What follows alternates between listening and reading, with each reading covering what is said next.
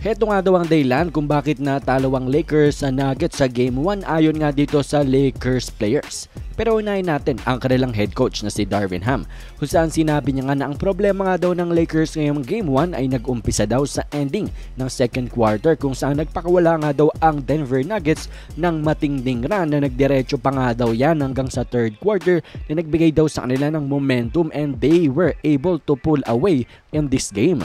Isang malaking problema nga daw this game ay ang kanilang pagbibigay ng extra possessions dito nga sa team ng Denver Nuggets kung saan meron nga daw silang 15 offensive rebounds for 18 points. At yan daw ay dapat nilang itama sa susunod. Ito daw ang dapat nilang gawing adjustment coming into game number 2. They need to work hard as they can as a team to limit the Denver Nuggets to just one possession. They have to be perfect nga daw pagdating sa departamentong ito nang dahil kung patuloy nga daw silang magkakaroon ng slip-ups o pagkakamali pagdating sa rebounding ay itong team ng Denver Nuggets ay siguradong kikitilin ka nga daw pag paulit-ulit mong ginawa itong mga ganitong pagkakamali. And then ito namang si Andre Davis, sinabi niyang naging problema daw ng Lakers this game ay ang kanilang rebounding at hindi tamang pag-box out dito sa mga player ng Denver Nuggets na nagresulta nga daw ng 21 second chance points para sa kanila. Kaya't heto nga daw ang dapat nilang ayusin para nga sa game number 2. Next time daw they have to make sure na maging maayos ang kanilang depensa din dito nga sa team ng Denver Nuggets when they are making shots dahil dito daw nag-umpisa mabuhay ang kanilang crowd to give them momentum.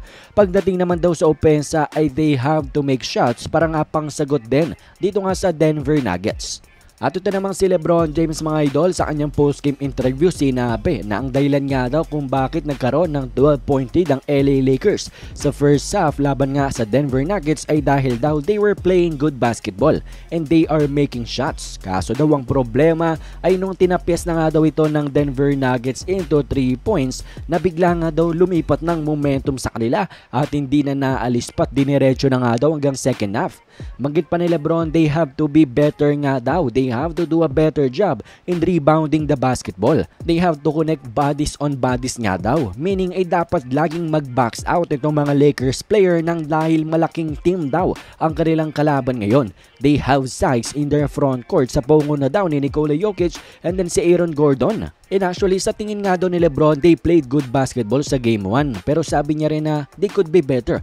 May improve pa ang Lakers team. Laban nga dito sa defending NBA champions, lalo na sa bahay nga sila ng Denver naglalaro. Sabi niya, they have to make shots and defend the basketball.